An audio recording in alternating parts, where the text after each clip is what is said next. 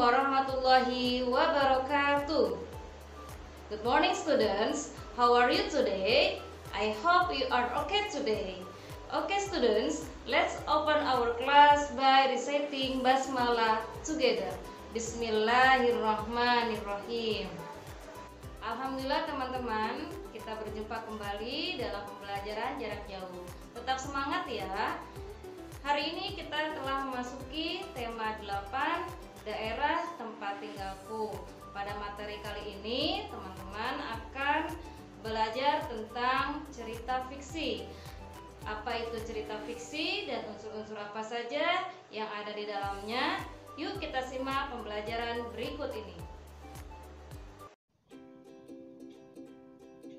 Tujuan pembelajaran pada hari ini satu, Siswa dapat menjelaskan teks fiksi Dua, Siswa dapat menjelaskan unsur-unsur dalam cerita fiksi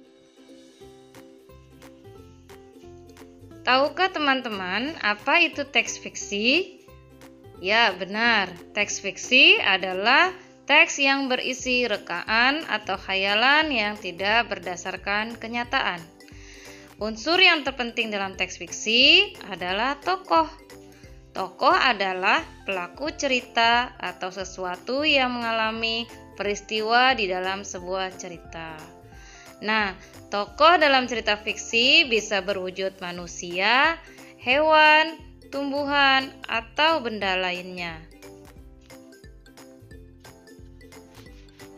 Selain tokoh, ada beberapa hal lain yang diperlukan agar sebuah teks fiksi atau cerita dapat berjalan dengan baik. Hal tersebut di antaranya satu Tema Tema adalah merupakan dasar cerita yang menjadi pokok terbentuknya cerita.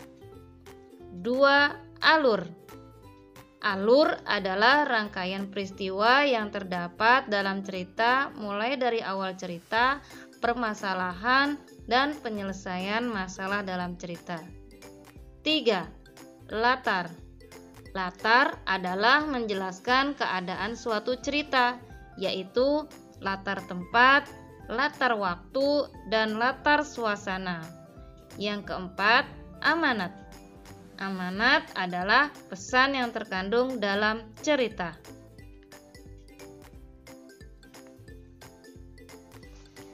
Jenis-jenis cerita fiksi 1. Legenda Legenda adalah cerita rakyat pada zaman dahulu yang ada hubungannya dengan peristiwa sejarah 2. Cerita jenaka Cerita jenaka adalah cerita penghibur yang membangkitkan tawa, jenaka keriangan, atau sindiran 3. Saga atau cerita panji Artinya, cerita rakyat yang bersifat legendaris tentang kepahlawanan atau petualangan yang mengagumkan. 4. Fabel Fabel adalah cerita yang menggambarkan watak dan budi manusia yang tokohnya diperankan oleh hewan. 5. Mite Mite adalah cerita yang mempunyai latar belakang sejarah yang dianggap suci.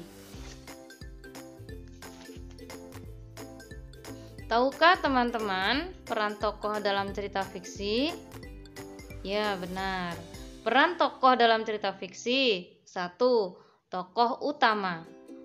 Tokoh utama adalah tokoh pelaku utama dan tokoh yang mengalami semua peristiwa dalam cerita. Dua, tokoh tambahan. Tokoh tambahan adalah tokoh yang hadir sebagai tokoh pendukung. Teman-teman, tokoh dalam cerita fiksi memiliki dua sifat. Satu, ada yang sifatnya protagonis. Apa itu protagonis? Protagonis adalah tokoh yang memiliki sifat baik atau positif. Yang kedua, sifat antagonis. Apa itu sifat antagonis?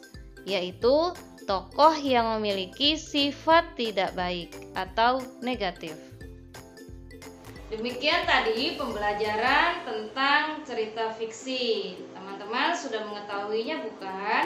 Alhamdulillah ya. Tetap semangat dan mudah-mudahan pembelajaran kali ini dapat memberikan manfaat untuk teman-teman semua. Oke, Let's close our lesson by reciting Hamdalah together.